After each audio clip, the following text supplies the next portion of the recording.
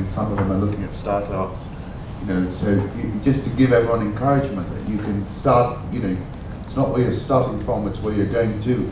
And I, I admire you for that. Can I take some questions uh, from the audience? Oh, thank you. I'm Raphael Okoth from uh, Spellbox Media. Thank you, Mr. Pradeep. Uh, there's been cutthroat competition uh, within the East African region in the cement manufacturing sector. How have you managed to have a footprint within the East African region? Good morning, ladies and gentlemen. Uh, my name is uh, Antipas Akala. I'm from Innovate uh, Kenya. I'm also interested in renewable energy. I don't know if you uh, shared uh, this, I wanted to know uh, in your cost, uh, what percentage goes towards, uh, percentage of uh, your cost that goes towards energy? Okay, good morning. My name is Frederick Kimaru with FarmGuard uh, Investments, uh, specializing in business technology and investments. Now, my question to Pradeep is uh, I've seen uh, you're doing more refinancing, more, using more debt.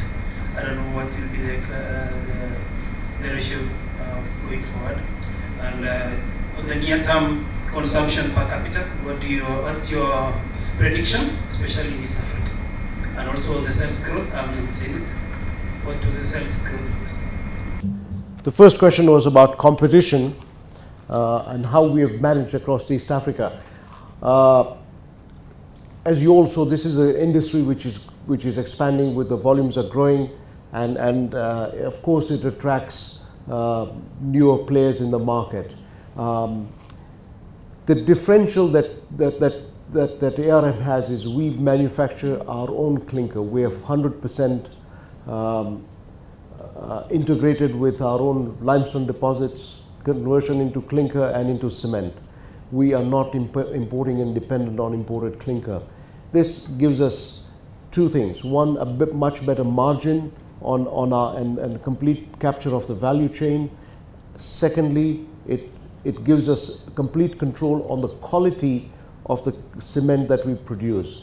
We're not dependent on some other plants and, and supplies of the key uh, component of cement from, from, from, from uh, uh, outside of this uh, country.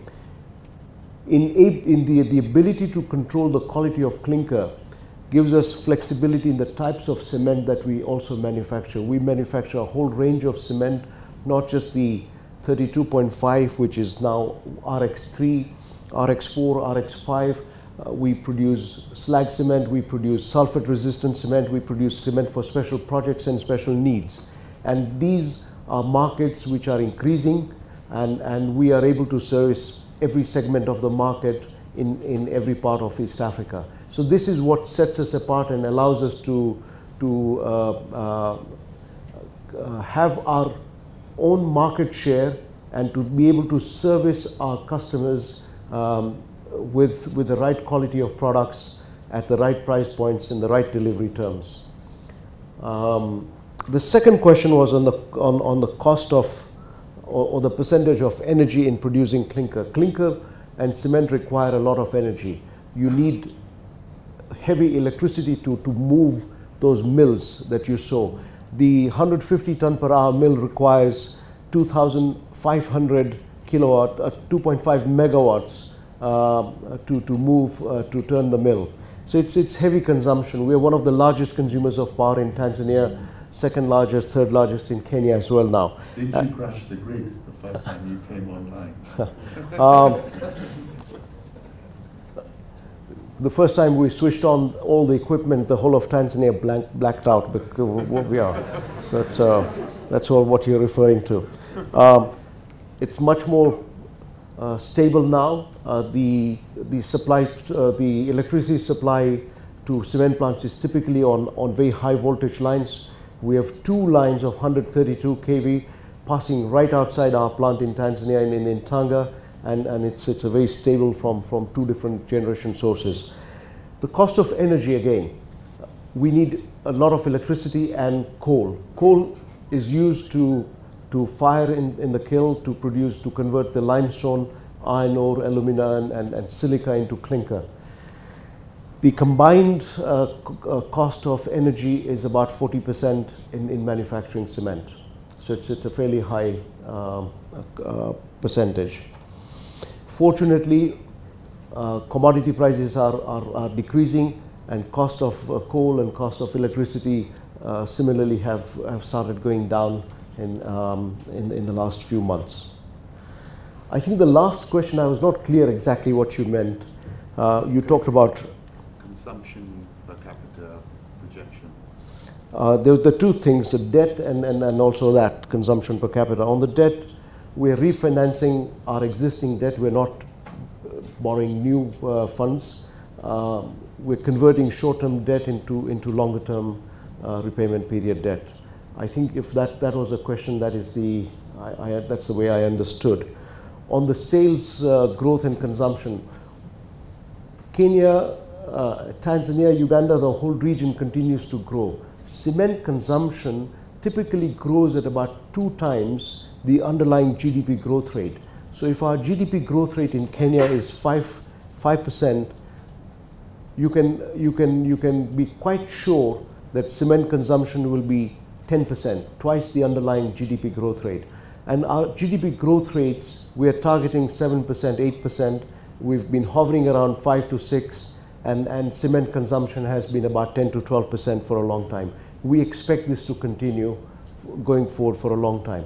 So in a market of nearly uh, uh, 14, 15, uh, sorry, was the figure uh, for last year? 11 million tons? 12 million tons. 12 million tons, 13 million tons. A 10% growth is 1.3 million tons of new demand every year. And, and so that is the kind of growth that we are seeing.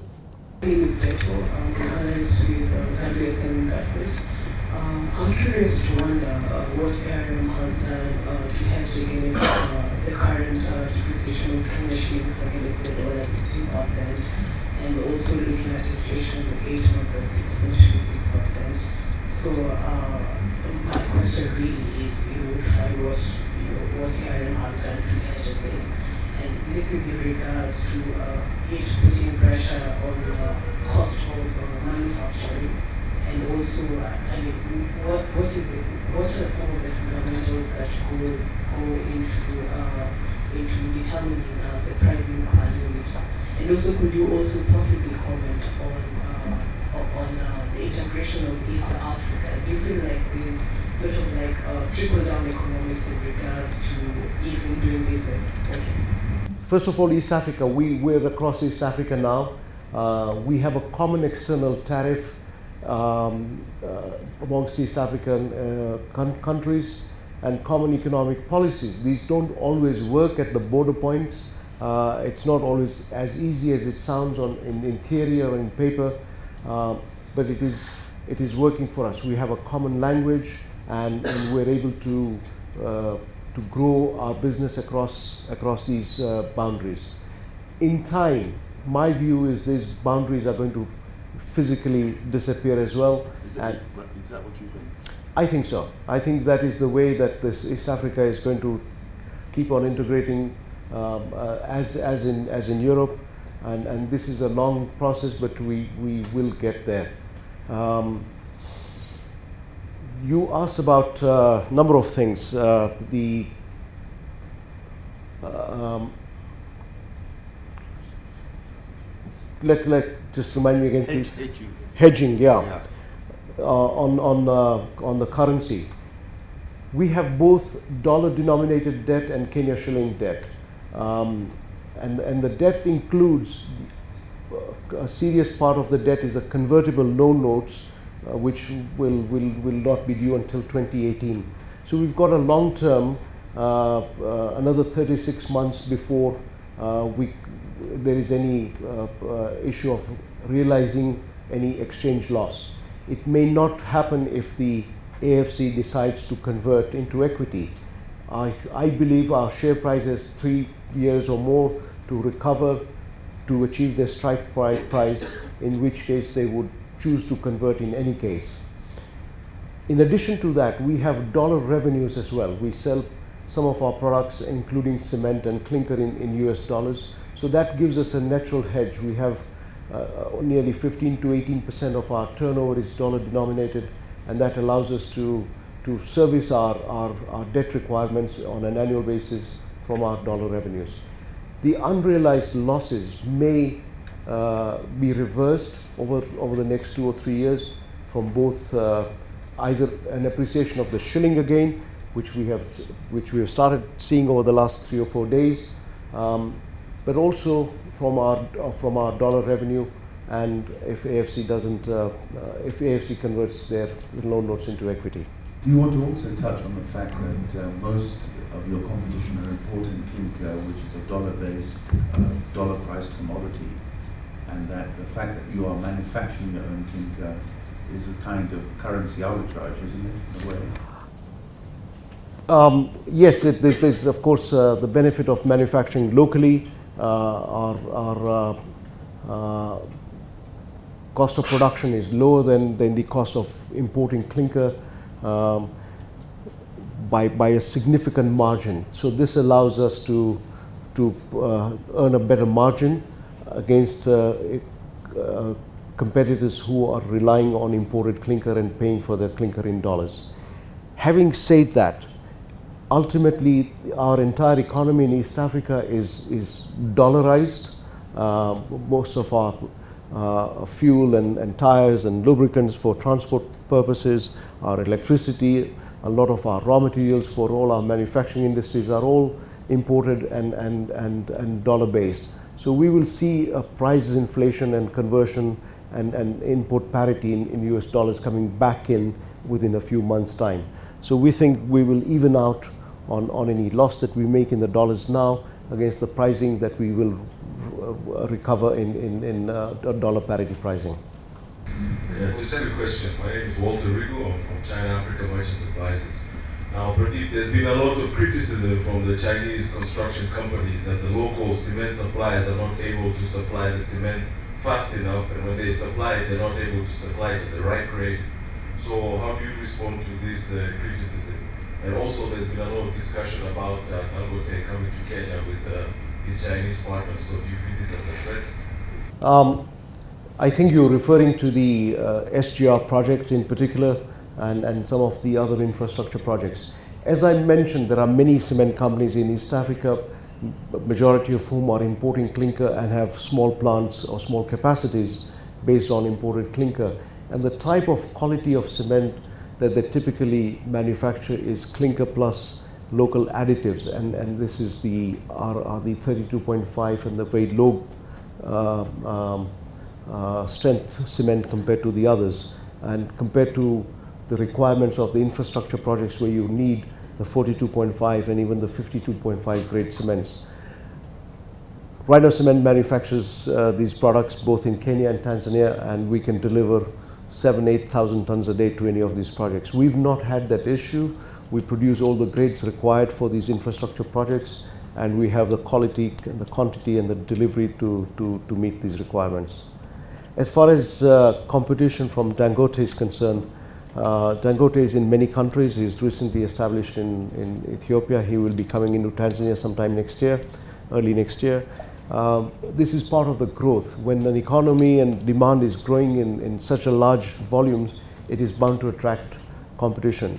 We would rather have competition from serious players uh, uh, and, and who have long-term investment uh, horizons and, and who know the industry structure rather than uh, competition who don't know the industry, who have who start businesses on, on small budgets and, and then have to compete in, in, in uh, either unethical ways or um, with, with products which do not necessarily meet the standards and so on. So we welcome competition that is fair and, and, and uh, we believe we have our own market share and our own Uh, uh, market segments to serve, uh, and so will other serious players as, as we go along. And thank you, Aly-Khan, for once again an excellent Mindspeak event. My name is Ravi Shah. I'm from Greener Pastures. I have a background in both steel manufacturing and uh, now in looking at improving skills in the education sector. there are many, there have been many articles recently about higher education and the issues that are going on in Kenya. I'd like to understand from yourself, what does ARM do in terms of bridging the skills gap with the youth currently coming out of schools, colleges, universities? Kenya's demographics are very, but there's a youth bulge, as we all know. So everyone's going to require jobs. Everyone can't go down on this entrepreneurship, entrepreneurship path. Yeah, that's my question. Uh, hello everyone, uh, my name is my name is George from uh, Change Agents, Human Capital for SMEs and Startups. So my question is in regards to your business, you do a lot of excavation, which leads to you know damage to the environment. Do you, do you have a plan as uh, Rhino Cement to mitigate that? Are you doing partnerships with people who come after you have excavated and left their cavities?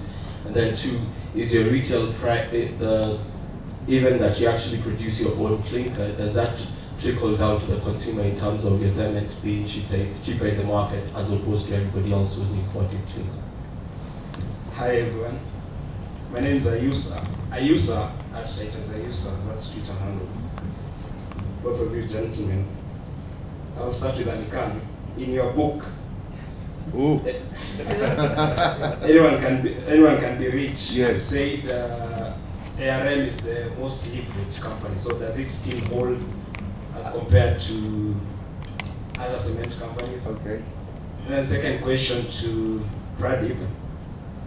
Uh, in terms of the fertilizer business, can you maybe share a few of the numbers in terms of there's the Eldoret plant coming up, and then there's one, I can't remember the name, here in Nakuru, which they're also expanding. So what are the numbers in the fertilizer business? And then your plant, or in your presentation you are talking of Tanga a lot.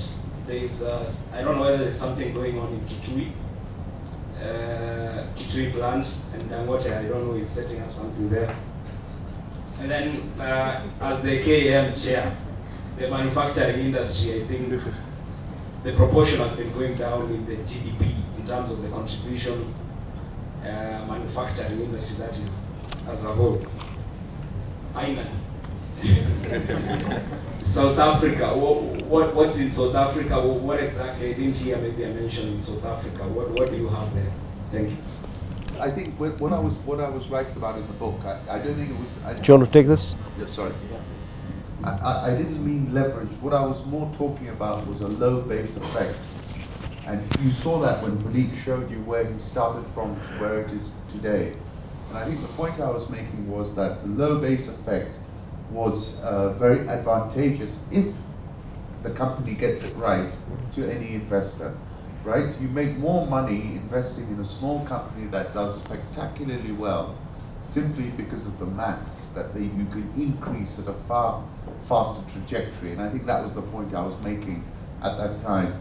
And if I look back on it, you know, the performance from that period has been pretty strong. And hello, Titus. I think it's over to you, Pradeep. Uh, thank you. On, on education and uh, training opportunities, uh, you, when you said, I have experience in steel and now, and I almost thought you'd say now cement. Uh, uh, so wel welcome. Um, we have a lot of university graduates in this country, but not necessarily with the right skills. So the ARM has been running for many years now, training program, graduate training program. We have, we offer internships uh, to, to many, many people. At any given time in our company, we have nearly 25, 30 interns in, in either the Kaloleni plant or the Athi River plant or some in the office as well, uh, across, across the spectrum, but particularly engineering, electronics, automation, and so on. Those are the areas that we, we really require a lot of skills and, and those, those are lacking. But it's the, the only way. We, we partner with, uh, with uh, various universities and, and campuses to, to have uh, training programs. Um, and and uh, this is an area that uh, even at KAM I am championing to, to start uh, um, graduate training programs and internships and, and job skill training programs. We have a lot of support from um, various organizations from, from Germany, uh, particularly the Danish industry, and, and uh, the UK uh, DFID as well contributing to these programs at, at a national level managed by KAM and by, by, by KEPSA. So these, these are areas that uh, if you have uh, uh, something more to contribute to and some ideas, love to, love to share with you. Pradeep, is that the sort of German model that you, you're trying to put in play? You know, when I, when I studied German and I was in Germany, a lot of people would actually leave school and would go into a program where, you know, it would, a sort of internship on steroids, as it were, and then they would join the company. Do you think that is a way of, of, of bringing people in? Because Correct. I mean, this, this is what we used to have in, in Kenya as well, crafts and skills program. Uh, we used to have certification programs. The polytechnics ran a lot of programs for plumbers and electricians and, and so on, and we've lost all of that now. There are no tradesmen, no certification courses uh, for, for skilled artisans. Um, and, and, and this is partly because of the change in the way we, we started uh, making everybody white collar uh, employees and, and forgot about the skills that are needed to run industry. But we're going to get back there. I think Germany is a very good example where uh, um, uh, a lot of 16 and 18 year olds leave school and join companies and, and are trained um, uh, in the company and then they go part-time back to colleges to study or evening classes and these sandwich courses as they call them last for three or four years uh, before they get absorbed into full-time uh, career jobs. Um, you asked me about uh, our uh, fertilizer business. Fertilizer is an interesting market in Kenya. We've consumed about half a million tons of fertilizers for many, many years. Um, the average consumption of fertilizer, just like we have average consumption of cement per capita, in, this, in the fertilizer it's consumption of kilos of fertilizer per, per hectare or per acre. Um, so, so in Kenya, our consumption of fertilizer is about 36 kilograms per acre of, of farmed arable land compared to a global average of uh, whether you take China or India or United States or it is nearly 125 kilos uh, uh, per, per, per acre. So we are not uh, um, using the right quantity of fertilizers where, uh, as an average. Of course, there are many farms which are using the optimal rates, but there are many farms which are not using anything at all. If we multiply the, the acres available for farming and the farmers in this country who could all use even 100 kilos of fertilizer per acre per year, the, the demand would treble from half a million tons to one and a half million tons. So we have a huge opportunity in this market space um, why don't people use fertilizer? Or why don't they use more specifically the right type of fertilizer? These were the questions that we asked when we started working on our fertilizer business. More than 12 years ago, we started doing a lot of research, development work. We partnered with uh, Kenya Agriculture Research Institute, with, uh, with various agriculture colleges, Nairobi University, Moi University, Egerton College, um, uh, with a number of NGOs and also uh, partnered with uh, um, IFDC, which is the International Fertilizer Development Center based in the United States. Over the years, we developed formulations uh, which were soil specific and crop specific for different parts of the countries, different types of uh, crops. So we have very specific fertilizer formulations for maize, for wheat, for barley, for tobacco, for coffee, for beans, and, and, and so on and so on. More than 20 different types of formulations. Our formulations have been tested time and again uh, in, in, in, field trials compared with different types of seed, different types of uh, fertilizer combinations, different rainfall patterns, and we see that our fertilizer give much higher yields than, than, than others this year, 2015, the harvest season is just coming to an end. We supplied fertilizer to many uh, parts of Kenya for growing maize. We believe that nearly 25% of the maize grown in this country was grown using Mavuno fertilizer. Last week, the president awarded uh, the best woman farmer in, in the country. Uh, she, she, she got a very big trophy this lady farmer is from Kirinyaga and, and using Mavuno fertilizers. Um, if you see the crops that she grows, whether it's coffee or bananas or beans, dramatically improved uh, uh, in both taste and, and, and quality, yield, uh, than, than uh, other farmers and other types of who use other types of fertilizer. So I think we've got a right product. Uh, 2015 uh, was a was a, a, a, year that we did more than 300% growth and and and and more than 4 billion shillings worth of uh, turnover. We are fully sold out uh, for the rest of the year. We are fully sold out for the beginning of next season as well. And this is a business that we we think we can. Uh, separate into a different balance sheet from the main ARM company and, and, and capitalize again and, and grow much faster. The potential in the fertilizer business, as I say, is huge regardless of the competition. There will always be competition, there will always be choice. Customers must have choice, but customers will buy a product which they find easy to access and, and it's economical and performs well. And I think we're good on all those measures. Um, you asked me about uh, the Kitui plant and, and what's happening in Kitui. Uh, uh,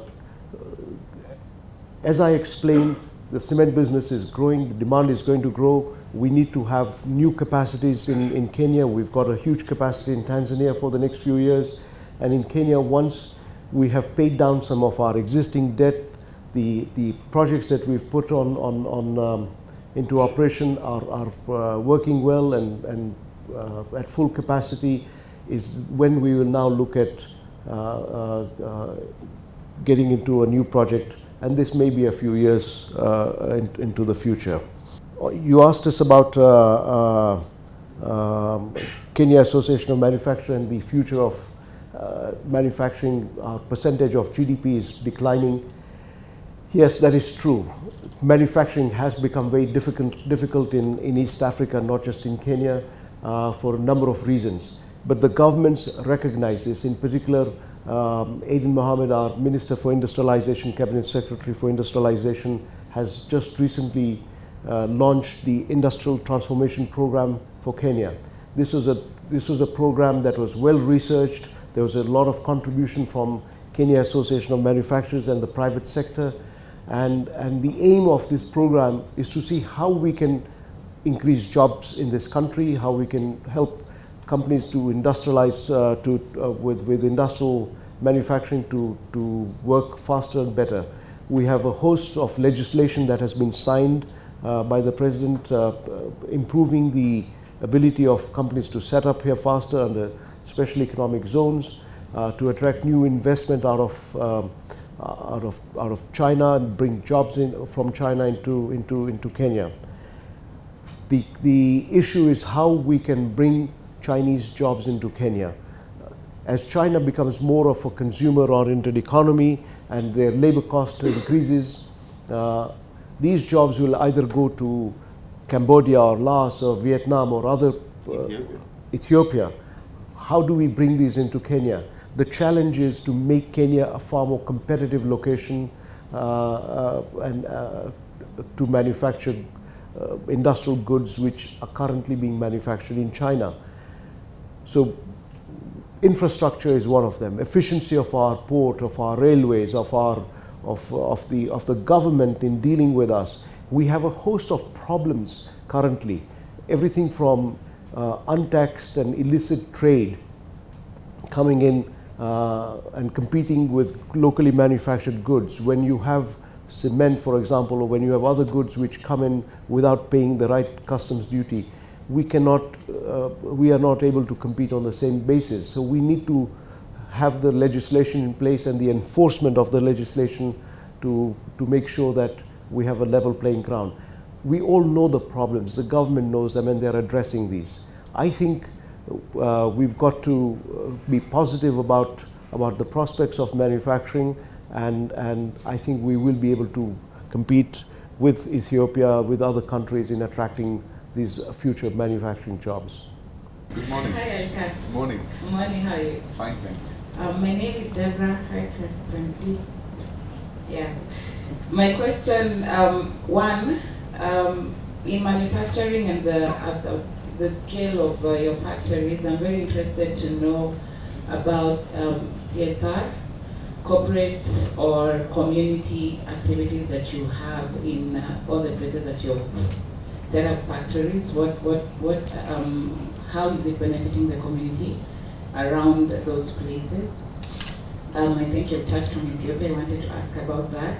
And then I also wanted to ask about Nigeria. Um, I was very interested in that uh, statement you made on per capita consumption being um, something about the law and the returns being high. If you could just please uh, touch about that again. The Nigerian margins were quite high compared to anywhere else. Yeah, the other, the, the, the like Kenya was 22 percent, but uh, Nigeria was higher uh, because of some law or something. I'd, I'd, like you to touch on that. And then the third question, uh, Aly-Khan has said, um, you know, most of us are young people. We are out here looking for, you know, businesses, ways, what, what, what we want, what we're here to do.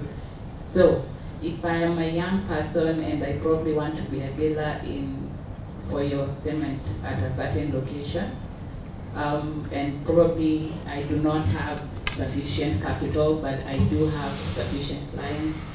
Can the company, you know, come up with a certain structure to to um, have for young people which you can be dealing with businesses? Thank you. Good morning. Morning. My name is Paul Flaigo Security. I'm in the process of setting up a plant in Athi River for producing pozzolana. Pozzolana is a byproduct of making cement. I would want to, to ask since it's a capital intensive project of 80 million plus, from your point of view, is it a viable project? Question number two. If you are to supply your company, is it an open market or you have to go through the tendering process? Because you have to use Pozzolana to make cement in one way or another. Thank you. My name is Miriam from ICEA Asset Management. And can you explain the drop in share I think I'll, yeah. So, let, let, let, let me talk about the Brighter Cement Foundation. We started the foundation a few years ago. It's, it's a very formalized way of channeling all our social investments. I don't just call it corporate social responsibility because it's beyond, beyond the sense of responsibility. Um, I think it's, it's very much a part of a culture of our company. Uh, our, our investments that we make in, in, in, um, in health, education and environment are all guided by our, our, board of trustees and, and the, the projects are managed by employees of and the staff of the company. We allocate every year a certain percentage of our, uh, of our profits um, uh, to, towards the foundation. In, in the area of health, for example, we run clinics at, at, at both Kaloleni and Athi River, and we've just started one in Dar es Salaam as well, ne next to our plant, where we have uh, full-time doctors, nurse, and pharmacist. Um, in Kaloleni, we, we have a, uh, a, facility which treats nearly 1,500 to 1,800 uh, patients every month uh, for a variety of uh, uh, illnesses, and we also carry out minor surgery for a very small charge. I think we're charging 150 shillings uh, per patient. It includes um, medication, any, any laboratory and pathology testing, um, and, and referral by the doctor if, if required a second or a third time. Um, this service is not provided uh, at, at, at, any rate at this kind of a cost anywhere near uh, Kaloleni. The nearest hospitals are in Mombasa where it's again expensive and, and the services are not necessarily available. So we serve as a center point for a, for a large captive area. People from as far away as 20, 25 kilometers come to, to our clinic in Kaloleni, some even, even further away because we've got a very good doctor and, and, and good treatment. Same thing in, in our other clinics that we do. We host uh, uh, eye clinics and, and other medical camps in partnership with Lions, for example, uh, dental clinics a couple of times a year. So this is all part of the, the health uh, platform. Education, We started uh, uh, bursary programs for, for children from very, very poor backgrounds, bright children who had, had obtained uh, very good marks in, in the primary um, uh, education but had no way of funding uh, going to good secondary schools. A lot of these children come from, from, from the slums and from very poor and disadvantaged background. And we thought by helping children from such backgrounds uh, would, would be the biggest investment in their lives because they would be change agents in their communities, in their families, and, and, and going forward would make the highest impact. It's a very different model from other corporates who take the brightest of the bright kids who generally come from middle class families and from good schools and then have, have the ability to go forward. That is a good model as well, but I think we make a higher impact in our country by, by uh, helping children from very disadvantaged families. A lot of these children have of course now graduated from, from high school and gone on to university and we've carried on this program right into university. We have more than a hundred students now that we provide full or partial bursaries to go into through university as well. And again, these, these are the people who are making a huge change and likely to make a huge change going forward in, in the communities. In terms of environment, and there was another question, I will take that together. How do we uh, uh, manage the environmental impact of our, of our mining activities and our, uh, now, in, in, in uh, today's re uh, regulatory environment, you do not wait to, to exhaust a mining area and then go back after 20 years to, to replenish that and, and plant trees. You do it concurrently. There's a, there's a, uh, a, mine management plan that we have every year.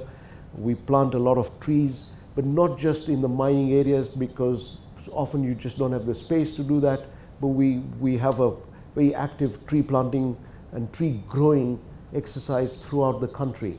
Uh, we do more than 250,000 trees a year. We give seedlings away to schools and to women's groups to then further distribute or sell them for a profit um, uh, uh, throughout the country. Rhino Cement has twice in the last few years been awarded the top prize for Total Eco Challenge for the best environmental management practices. So I think these, these are all part of uh, the activities which help us to improve uh, the way we, we manage our, our, our, our uh, environment. One last point inside our own plant, we're the only cement company in the whole region which has online monitoring of emissions. Uh, uh, and, and, and this is information that is recorded every single moment, 24 7, and the information is, is, is recorded on, on our, on our um, on soft copies, which we then share with the environment authorities and with anybody else. So it, at any given point, we know where we stand in terms of the emissions. And I'm very happy to tell you and pleased to tell you we're the only company in East Africa which meets the, the latest EU and uh, EU standards on environment emissions. We are well below 50 milligrams. It's, it's a, um, a measure of the dust in the air. We are well below 50 milligrams of, of uh, particulates per meter cube of, of, of gas, of air, whereas the Kenyan standard is um, higher than 250 at the moment, and many companies do not meet that. They are much higher than that. Um, we have installed the latest generation of, of equipment, pollution control equipment to meet the, uh, the EU standards, and not just in Kenya, also in our plants in Tanzania for that. Um, there was one question about uh, uh, drop of, about uh, pozzolana supply. I think that's a commercial uh, business. Let's not talk about it here. Uh, come and see us in the office, and we'll see if we can uh, give you some orders. but congratulations if you if you're going into the business. There's there's a good good market for that. Finally, a drop in the share price. Um, and I said that I'd, I'd talk about that uh, uh, so I'm glad you've asked and reminded me. The company's share price is a reflection of many things. It's a reflection of the performance of, of the company at the moment, and it's also a combination of, of what the market expects the company to be able to achieve going forward. We have just come off a huge investment now, uh, more than $200 million in Tanzania. most of the investment has come from internal generation and we've borrowed money from short-term and, and, and long-term um, uh, Uh, sources. Now, just as we were ready to start to, to start production and to start generating cash and to reduce our debt, we had two impacts. One was the devaluation of the Tanzanian currency and the Kenyan currency, and pretty sharp devaluation. Secondly, in response to the devaluation, the central banks have raised interest rates. Now, both have spooked the market. We had, we, at half year, we had to record, as per the IFRS uh, standards, um, unrealized exchange losses. These are not actual exchange losses, these are potential losses because of the devaluation. And as I explained earlier, with our dollar revenues and going forward, we think these can be mitigated. As far as the higher interest rates are concerned, we saw a spike in interest rates. These now look like they are, they are going to uh, be stable and, and by converting some of our short-term debt into a five-year, we will have a much more stable uh, uh, outlook on, on, and, and on the repayment of, of interest. And by terming out our loans into higher, longer maturity loans, seven years and longer, will also help us to uh, improve our cash flow and allow us funding for any new uh, improvements in the business and any new capex in the years to come. This, I think, is what the market is waiting for to see our response on how we manage this particular point in, in, in our, in our uh, business cycle where we have been hit with devaluation, high interest rates. How are we going to manage? That is what the market is waiting for. And I mentioned that we have a plan to, to manage that. I think once we get our cash flows uh, uh, right, the business's fundamentals are strong, we should again see confidence in the market and, and a proper valuation of the company where it should be. After all, uh, these assets are $500 million and, and the market will begin to reflect um, the true value of these assets uh, uh, as opposed to where we are now, which is grossly undervalued com even compared to the net, net asset value on the balance sheet now. Hi, my name is Joshua I have, uh, from the private sector, I have two questions. The first question is uh, on uh, environmental sustainability and uh, some of your competitors have in the recent past uh, focused more on uh, alternative fuels, both as a cost-saving measure and also as an environmental protection measure. I expected you to mention part of it, but I don't know why you kept silent about it. Maybe it's something you're not focusing on. But I just wanted to get your thought on it, given that 40% of your costs is related to energy. How are you driving the production of alternative fuels, alternative to coal, alternative to fuel oil to reduce your costs? Then my second question is on return on investments.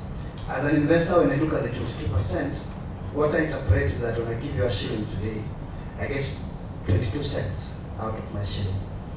Now, your business is 84% dominated by cement, but I know you're diversified to other sectors. These other diversifications, fertilizer and the chemicals, are they value additions to the 22% or are they value destroyers?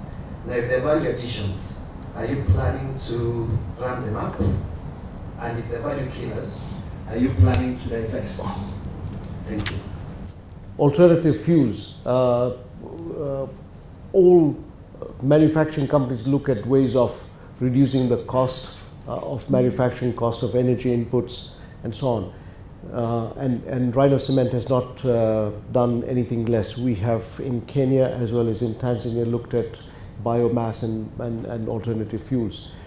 What is important is that the alternative fuel uh, in, in, in uh, manufacturing has to be at a lower cost uh, than what you're getting now without disrupting production or impacting quality uh, in, in any way. And also, alternate fuel technology requires some investment. Uh, if you're going to use biomass, you've got to process the biomass to be able to fire in exactly the same way as you fire coal, for example. So often the economics don't uh, justify the investment and the, and the return. Um, and it's a sad reality, not everything works. Um, if you want to use coconut husk, you need special equipment to process the coconut husk into, into and, and then shred it and so that you can fire that. We have not found a solution yet which works and which gives us adequate supply of biomass and alternate fuels as well. To collect coconut husk over a large area is also more expensive than just buying coal uh, for the use. So um, we have tried and we keep trying and, and, and, and this is uh, this is an ongoing process in many companies. Um, the, the, the, the chart was uh, about the EBITDA margin in, in, uh, in our business. 2013 we had 23% EBITDA margin uh, and, and last year 2014 and 2015 it's been higher. Now uh, this is uh, uh, return on our, on our sales.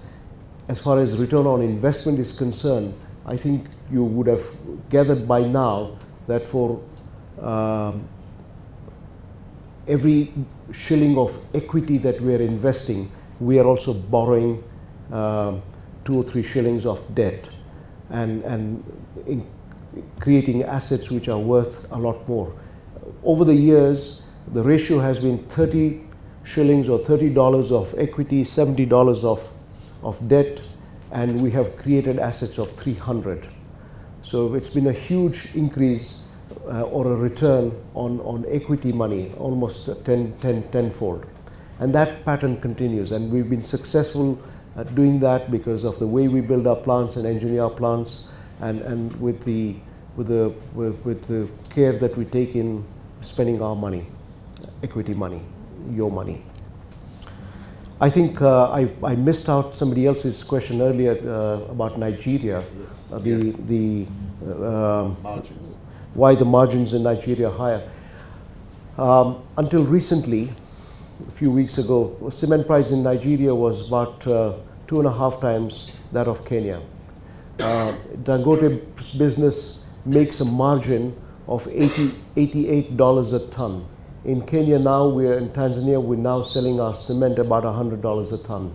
So there's a significant difference in, in the way we operate our businesses the, uh, we are very, very cost efficient. We're, we're, we can be compared with, with any company in any competitive uh, market uh, globally. Uh, Nigeria is an exception. Um, uh, part, partly, and you asked me why, partly because it's Nigeria government protects Nigerian cement manufacturers, does not allow imports of cement had cement been uh, easy to import and, and if, if Nigeria was like East Africa where you could import clinker, there would be many, many more plants, much more competition and availability of cement uh, at a lower price. Unfortunately, that's not the case for the Nigerian consumers, but it's good for the Nigerian cement manufacturers. Thank you, Pradeep, for that uh, nice presentation. Uh, my name is Don Donald Carrero from uh, Bezalel Software Artisans. So, uh, Rhino Cement is uh, quite a great Kenyan success story. And so, I wanted to know from your vast uh, business and management skills, uh, do you sometimes offer your time and uh, maybe resources to, to mentoring uh, young Kenyan entrepreneurs? Especially now with your attachment uh, with the Kenya Association of Manufacturers. Uh, do you yourself and other successful guys around have such an arrangement? Thank you. Hello, my name is Victor. Now, I have one question, or rather three questions. You placed a huge bet on Tanzania. I want to find out why that is, and where next, actually. On the second question, the Tanzanian government announced a rather scary move or unprecedented move. They've shut down their hydro plants probably this weekend. What, what, what is your company doing to mitigate that risk in terms of uh, your mills in Tanga? The third question is, you've led your company to great heights over the last 20 years or so. Where is there, or how do you intend to then move your company to the next level going forward? Thank you. The earlier one was about, uh, about uh, mentoring and, and helping youth. I think that's what you would say. And there was a similar question earlier as well, which, which, I, which I forgot to answer.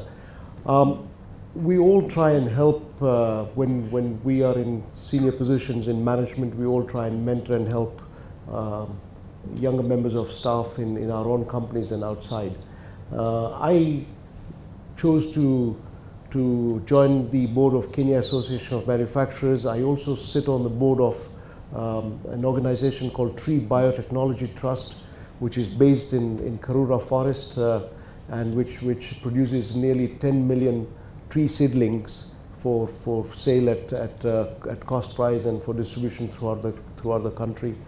Um, I'm, I'm, also chairman of the Nairobi Green Line Trust, which is an organization which is raising money to build a, a fence around Nairobi National Park and to plant trees. Um, so these, these are activities which, uh, um, uh, outside of my own, own business, uh, I try and help and influence uh, whether it's fundraising or in government policy uh, or in, in, in, helping other companies um, and, and uh, in, in any way that will improve the well-being of and, and of all, all of us in Kenya. Um, it is important that some people are able to engage with, with our policymakers in government, with the decision makers, and to tell them what is really happening uh, on the ground and, and within our companies and within our societies. If we don't have that kind of dialogue with our, with our political leaders, with the technocrats in government, we would be uh, much worse off because then decisions are made on those who are closest to them and, and, uh, and in, in many instances with, with uh, decisions will be made in favor of a few people rather than for the benefit of the rest of the country. So this is where I'm trying to spend more of my time at the moment.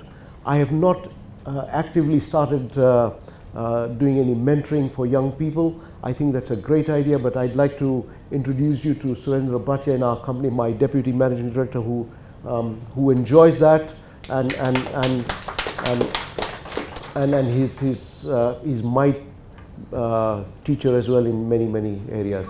So uh, um, if you have any suggestions and ideas, feel free to contact me, feel free to contact Surendra Bhatia, uh, and, and I'm sure he would, he would be happy to conduct a few classes and, and, and share um, uh, some, some knowledge that, uh, that we have gained over the years. Uh, as a cement company, as a listed company, um, uh, it is important that we diversify our risk. It is our intention to become a blue chip company with, uh, with uh, manageable debt levels, with, with uh, regular payment of dividends, uh, a company where you would put your own pension fund money and your own life savings. Um, there are times of risks, there are times of risk diversification and, and we've, we've, we've taken the risk in building the plants, but we've diversified our company and reduced the risk of depending on just one economy and, and one country or uh, one, one political system perhaps by going across a number of borders. And this is the intention of, of why we took a bet on Tanzania, just to diversify risk and to make sure that we are able to service a larger, broader market than, than just one market. Um, you asked about uh, the uh, uh, power situation in Tanzania. Um, whether it is Kenya or Tanzania, or other economies, the national grid of power is connected with many sources of generation. In Kenya, we have geothermal, we have hydro, hydros, we have uh, power plants which are running on, on, on furnace oil or fuel oil. Um, and and uh, typically, um, at 10 to 15 percent of the total generation capacity is, is always down for maintenance, for breakdown or whatever. So you, there's a switch between one source of generation to another. And this is what is happening in Tanzania. We have, as I mentioned earlier, two separate um, 132 kV lines passing through our factory from different sources. So if one source of power, the hydro dam is down, uh, we can be serviced from, from other sources. So I don't think that is too much of an issue. Um, uh, we have managed uh, uh, to take care of the, of, of the different sources of supply. Um, somebody asked about South Africa earlier. I forgot to mention that. And, and your question about what, what next for, uh, for ARM, what's the next level going forward. Um, South Africa is again one of those countries where we thought we would diversify into for, for our future benefit, uh, and, and we're still we have acquired mining licenses there, uh, uh, for and then business license. We've set up a cement plant. We're we're still working on that. And the next level for ARM, there's a lot of growth within the cement business, within our fertilizer business, and others as well. And I think it is a, it is a one step at a time. We've taken a very very big step in, in building the capacity that we have in Tanzania. Uh, two and a half million tons of, of cement is not a small capacity. At, at, at, um, at full capacity, uh, we will grow from 160 million turnover to potentially double that size the, over the next uh, few years if we utilize the entire capacity that we've built. So there's a lot of growth that has still to come from the investments we have just finished making this is only the beginning of that growth. Where else after that, the, the market is growing, the country is growing, the, the underlying cement uh, requirements in, in East Africa are growing. So we've got a huge space. We have acquired deposits of limestone and other raw materials that will allow us to build future, uh, expand and build, build newer plants in Kitui as we mentioned. So there's a lot of room. The company has not run out of ideas. We've always had a five-year five-year plans. We're just finishing our five, the last five-year plan from 2010 to 2015, and we have 2016 to 2020. I can assure you that within reason, within our uh, borrowing limits, and we want to maintain our borrowing limits so that we, we, are, we, are able to grow the company from our own cash flows, you will see a significant growth in, again in the next five-year plan. I had a very simple question. Is this the right time to buy ARM shares? I, I think it's for, for every investor, investing in equity is, is one form of investment, whether you're investing in, in fixed deposit accounts and if you're earning 20% interest rate, it's, it's a pretty good return now for whatever time it lasts. Um, uh, you could invest in property, you could invest in many other your own businesses and your uh, uh, other areas as well. So please take a portfolio approach to any kind of investment. Uh, you must have an appetite for the ups and downs. Today, I feel sorry for people who have to sell ARM shares. They were at 95 shillings beginning of the year. They're at 40 shillings now. If anybody has to have cash and liquidity and they have to make that kind of a, a loss, it really makes me very, very sad. But I think this is the nature of, of, of uh, equity investments. Um, they usually were not as volatile as in the last, uh, uh, what we have seen in the last few months. But you can be sure that the economy and the, the fundamentals are the ones that, that you have to look out for and that we will be back on track. Um, and we will continue producing the kind of returns that we have given our shareholders. There has been no company on the stock market in Kenya that has given a 35 times return to shareholders as we have over the last 10, 12 years. Um, and you can compare that with other cement companies, not just in East Africa, but around the world. No other cement company has given the kind of re returns to shareholders as we have given um, over the last 10 years. And once again, I remind you, our model of investment uh, has been to use $30 of our shareholders' money, borrow that, borrow, add to that $70 of borrowed money from, from financial institutions, build assets which are worth and productive at a value of $300. Um, uh, so we have given a huge return and we will continue to do that um, as long as our cement consumption markets, uh, uh, cement market continue to grow. Our consumption pattern is still way below 100, uh, uh, the 500 kilos per person per year. We will continue growing and we will be part of this uh, market with the right quality products and, and, and uh, with the right product offerings, not just in cement, but our, our traditional business of industrial minerals, fertilizers, and, and so on. Thank you very much, uh, Mr. Pradeep, for your presentation. Now, on a light note, the disadvantage of sitting behind here is that uh, you are never visible, even for a tall person like me. I'm there, you're, I'm there.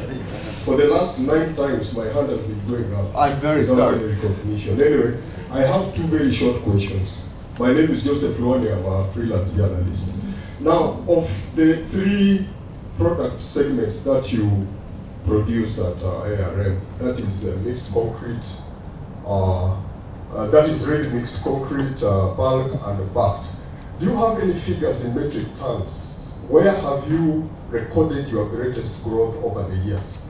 And uh, my second question, on uh, if you look at the left side of where Aly-Khan Satchu is seated on that banner, it's asking a very interesting and Yes. very, very strong question that emanates from ARM.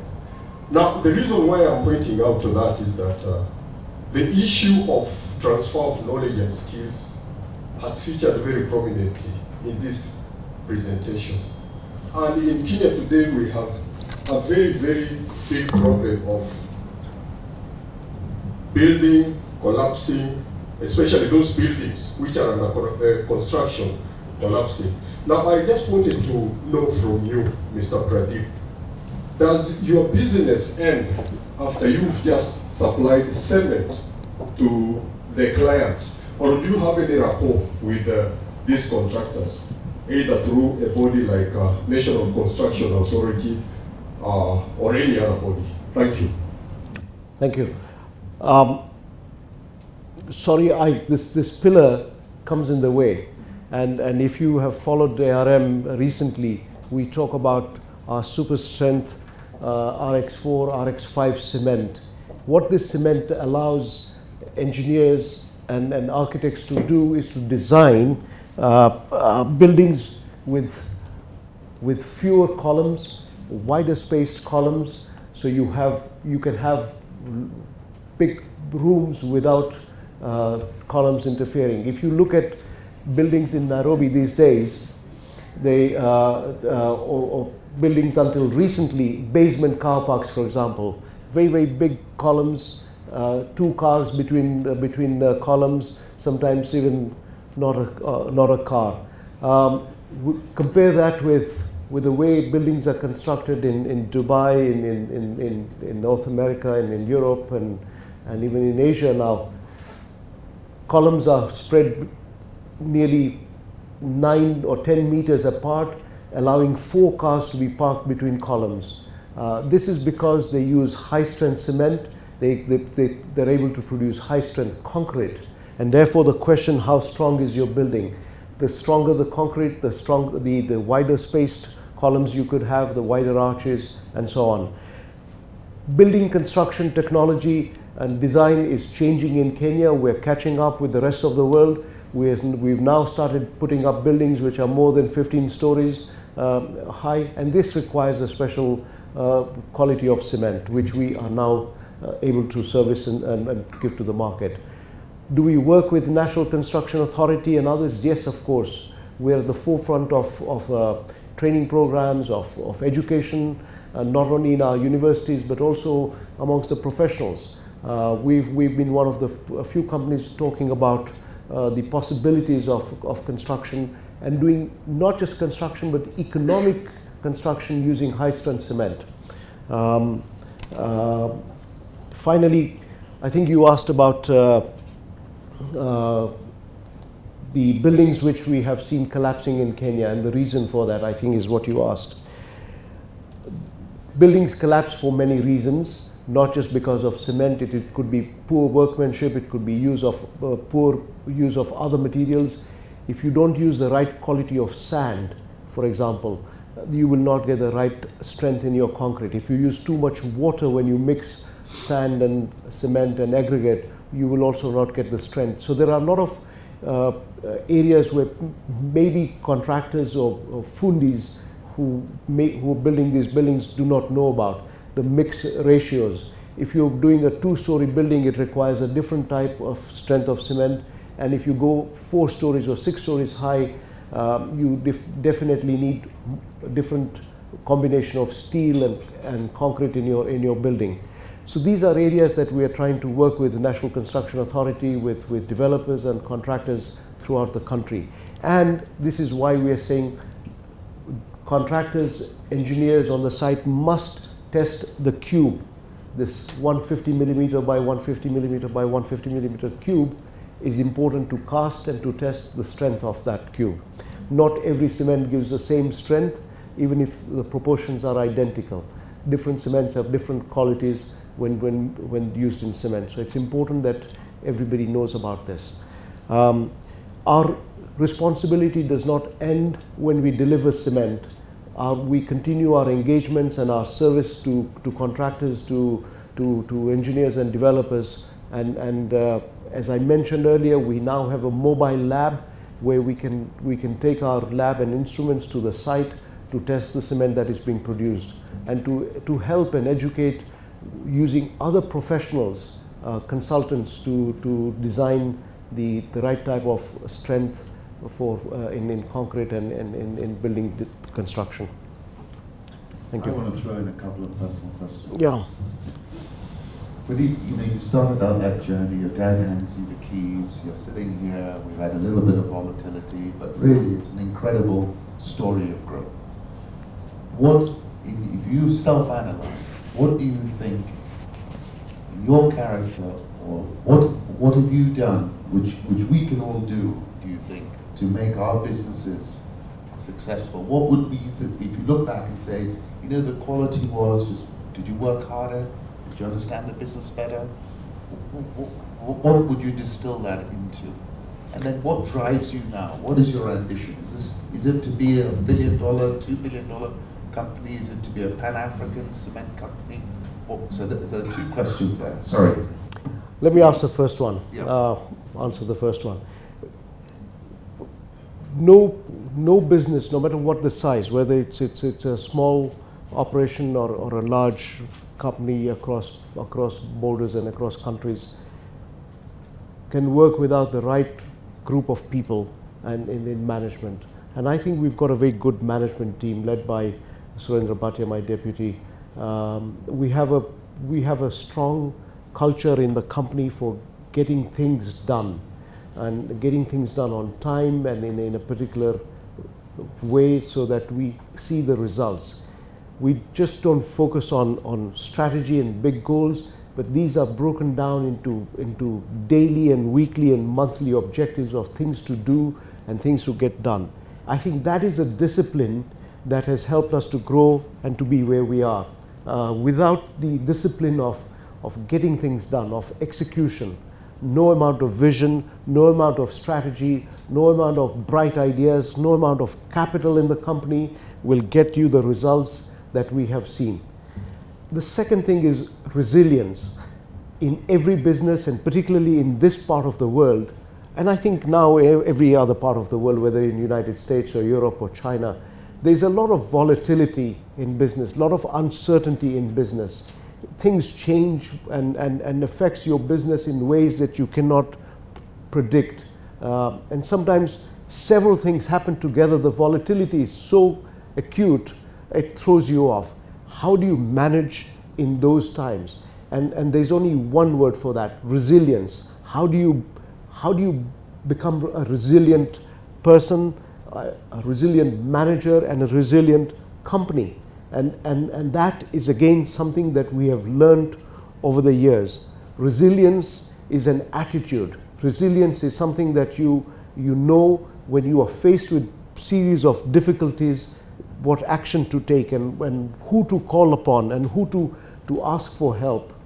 This is so critical in, in the success of the business. Today, our share price is half of what it was a few months ago. Uh, I was at the Financial Times uh, Africa conference on Monday. I was one of the panelists. And the panelist uh, asked me, says, Pradeep, your company's market cap is down by $200 million. Uh, you must be having sleepless nights about that. Um, we all do. Everybody would if you had even, let alone $200 million. If your share price was down by a shilling, it, it, it, it, it bothers me. But then we've got to see the reality behind this. What can we do about it? What is in our control? What is not in our control? And what we can give, what who we can call on to help to set things right if they're not getting right.